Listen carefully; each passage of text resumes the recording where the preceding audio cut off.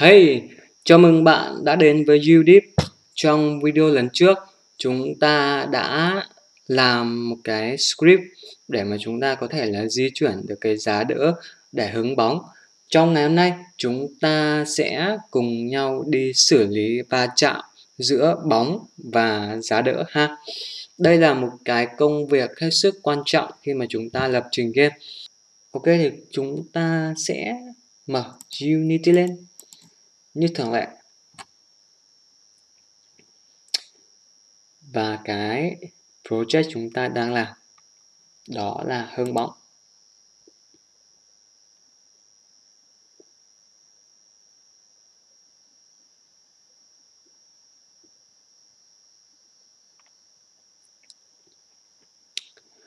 Trước khi mà đi vào chi tiết về việc xử lý va chạm giữa quả bóng và cái giá đỡ, thì chúng ta sẽ có một vấn đề cần giải quyết.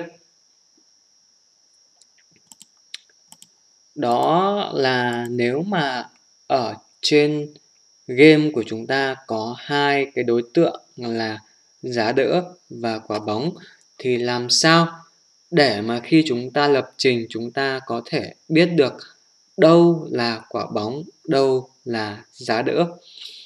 Thì ở trong Unity nó có một cái hệ thống đó là tag, cái tag này. Khi mà chúng ta add cái tag này, chúng ta thêm cái tag này vào trong một cái đối tượng game đó, thì là chúng ta sẽ rất là dễ dàng để nhận diện chúng khi mà chúng ta lập trình game.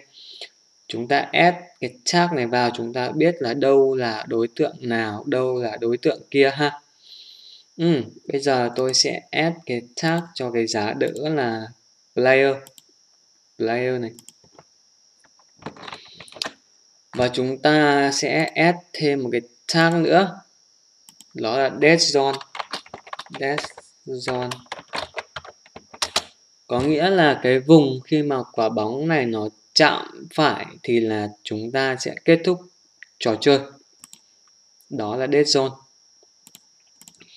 chúng ta sẽ tạo ra một cái à, đối tượng game trống. Chúng ta sẽ reset nó. Đổi tên thành là dead zone. Chúng ta sẽ add cái tag này vào cái dead zone. Trong cái thằng này chúng ta sẽ add một cái box collider 2D chúng ta sẽ kéo cái kích thước x của nó ra, dài ra một chút. Đó y cũng tăng thêm một chút và chúng ta đưa nó xuống bên dưới gần cùng màn hình, bên dưới cái giá đỡ, đó.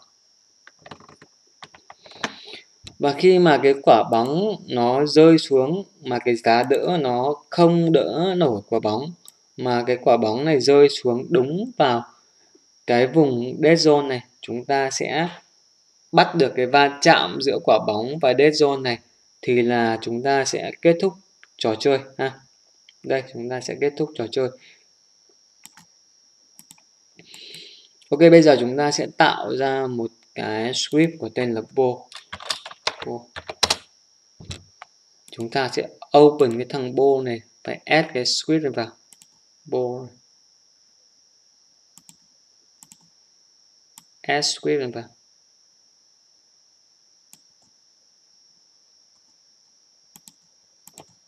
ok chúng ta sẽ mở cái script đó lên.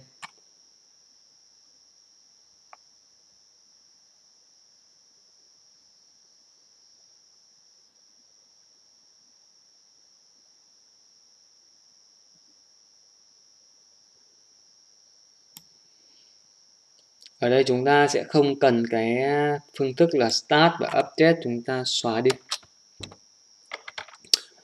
Để mà bắt được một cái va chạm giữa đối tượng game này và một đối tượng game khác thì chúng ta sẽ dùng một cái phương thức đó là on collision 2D ở trong cái phương thức này nó có cái tham số là collision 2D tức là cái vùng mà những cái đối tượng game đấy nó va chạm với nhau.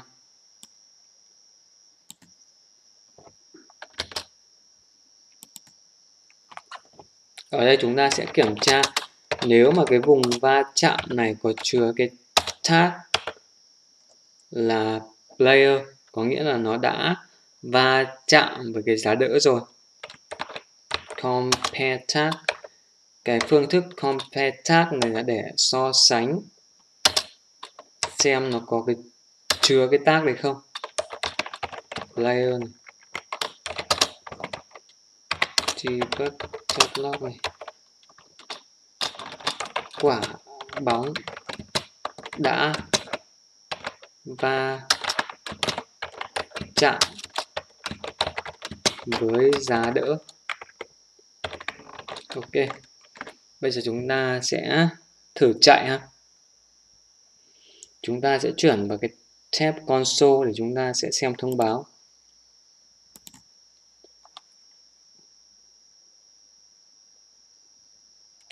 Như bạn thấy ở đây là nó đã thông báo này. Quả bóng đã va chạm với giá đỡ này. Đó.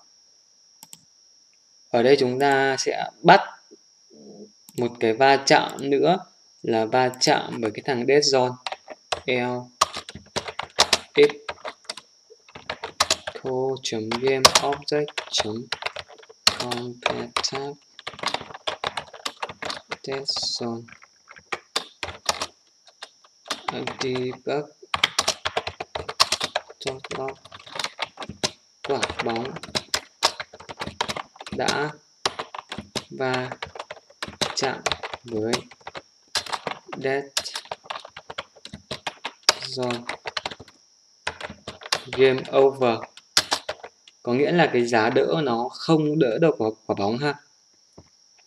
Nếu mà cái giá đỡ mà nó đỡ được quả bóng thì quả bóng nó sẽ không va chạm được với dead zone. Nó mà va chạm được với dead zone là coi như là không đỡ được quả bóng đâu. Coi như là kết thúc game mà.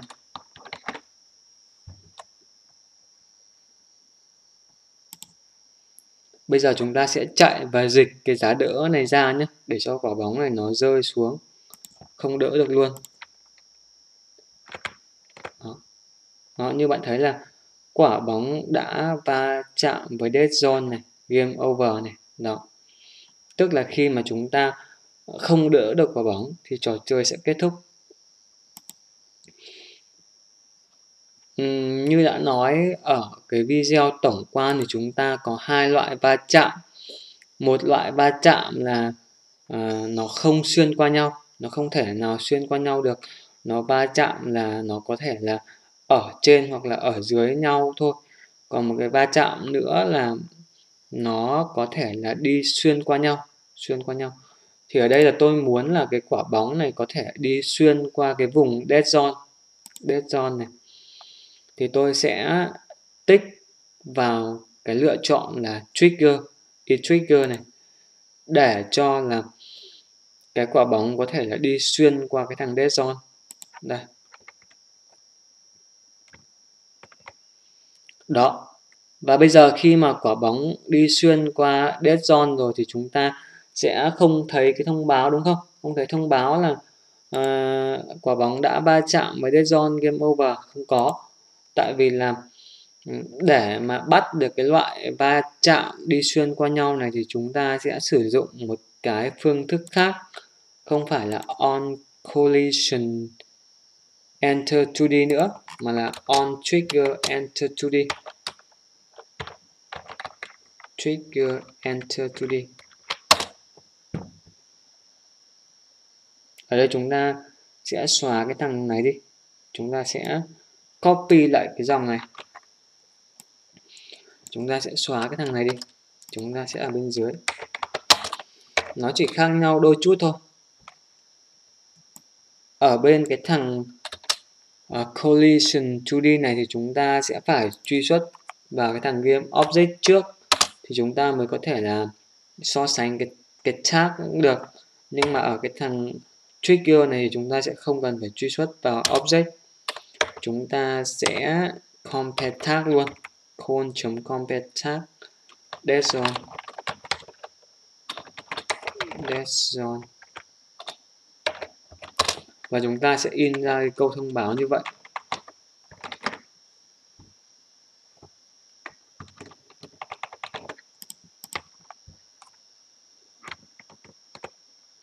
Đó, ok. Bạn thấy là nó đã thông báo là quả bóng đã va chạm với dead zone và game over, đúng không? Ok.